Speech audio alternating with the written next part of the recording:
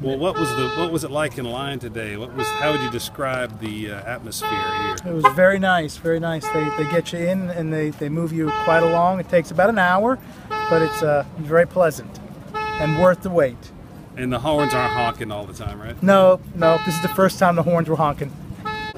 Turnout has been very good here in Macon Bibb. Um, the voters have been lined up, ready to vote since about 7:30. Uh, the wait, current wait time is about 20, 30 minutes.